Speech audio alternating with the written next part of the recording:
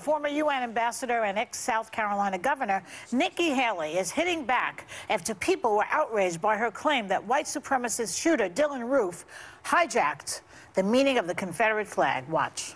Here is this guy that comes out with his manifesto holding the Confederate flag and had just hijacked everything that people thought of. We don't have hateful people in South Carolina. There's always the small minority that's always going to be there. But you know, people saw it as service and sacrifice and heritage. And but once he did that, there w- there was no way to overcome it. So she clarified her comments in an op-ed writing that she's called the flag of uh, a symbol of slavery, discrimination, and hate, and even removed it when she was governor. But some Southerners see it as a symbol of Southern pride, and she respects their opinion. So can she have it both ways? she's saying, she's talking out of two sides of her mouth, basically. Mm -hmm. But it kind of goes with the both sides thing that Trump likes to push. Yeah. I have a lot to say about this, but do you want me to go first? Or Why not? Okay. Um, all right. I hardly ever go first, so get, let me give this a whirl. Um, so this, when I first saw her making these comments to The Blaze, by the way, which Glenn Beck apparently still has a show, I didn't know that. Um, Does he? And yeah, and oh, I thought, the Blaze I, thought I did too. I thought that it was a very bizarre um, subject to be bringing up, and this is something that uh, conversations has been going on for decades and decades and decades. And I thought, as the woman who now famously removed the Confederate flag from the right. South Carolina Capitol, it seemed like a strange stance. Mm -hmm. This is a very, very deep issue for my family in particular because because, and I know everyone gets very triggered and upset when I talk about my dad, but please just bear with me. When he was running for president in 1999, he said that he thought, he agreed, that the Confederate flag should be above the South Carolina Capitol, that it was a symbol of heritage. He came to regret it and called it the biggest mistake of his life, and I actually want to show a clip of him saying that. Okay. My ancestors fought for the Confederacy, and I am sure that many, maybe all of them, fought with courage and with faith that they were serving a cause greater than themselves.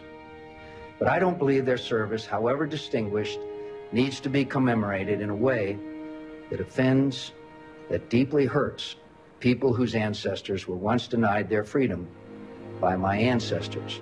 So I will say this him. plagued him. Yeah. Up until the day he died. Yeah. Plagued him. I believe we talked about it on this show he when he was on. to me when he was on the show. Pla yeah. To, to, the up until the point that he died, he called it one of his lives. He had two big life regrets. This is one of them. It haunted him. This will haunt her. It will. Trust me. And this was in 1999. Wow. Over 20 years ago. So I don't understand why we're still talking about it. I don't understand why we're still debating the Confederate flag. It's a symbol of racism. And I know there you know are people why? in the South that think differently, but it's not about what people like me think. But you know why again, we're still debating it? Because we don't have John McCain or a John McCain anymore. There's nobody in the Republican leadership that's like him. But this is a very one. bizarre argument to still be having well, 20 years later. And I, and I actually think that it's disqualifying for her to run for national office now that she's made this statement. It's fine it is completely disqualifying for her. And in that op-ed that she wrote to try to clean up what she said on air, she's uh, she said now she's saying now that it's because of outrage culture that uh, you could never now remove the flag from the South Carolina Capitol. And I think what's interesting is she's now trying to diminish the very oppression of my community, yeah. of my ancestors, by calling it outrage. Well, I am outraged by that position because you know.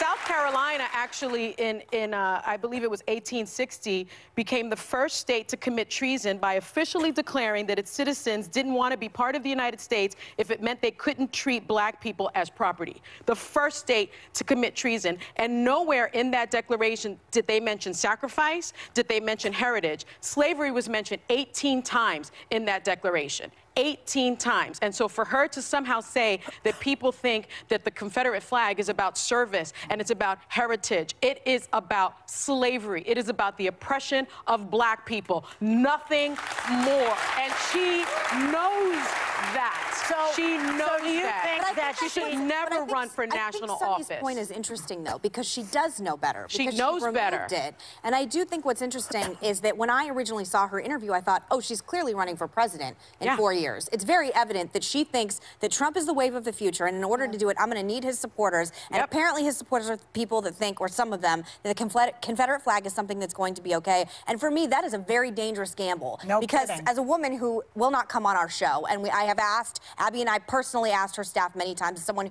who will not show her face on this show. For me, I don't know. I used to, I, I, think at one point in time I said I would join her campaign if she were running for president. Yeah. Whatever this mode is, there's a lot of young conservative women in the country that are not going to get on board with it. And defending the Confederate flag is exhibit A of the best way to get so people like me flee. So you think